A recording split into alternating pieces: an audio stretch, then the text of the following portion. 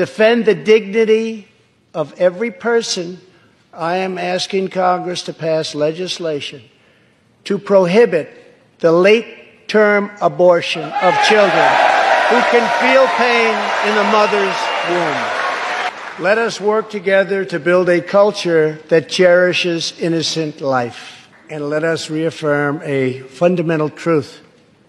All children, born and unborn, are made in the holy image of God.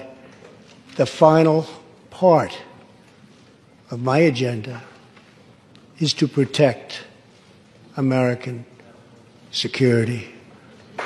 As part of a bold new diplomacy, we continue our historic push for peace on the Korean Peninsula. Our hostages have come home. Nuclear testing has stopped, and there has not been a missile launch in more than 15 months. If I had not been elected President of the United States, we would right now, in my opinion, be in a major war with North Korea. Much work remains to be done, but my relationship with Kim Jong un is a good one. Chairman Kim and I will meet again on February 27th and 28th in Vietnam.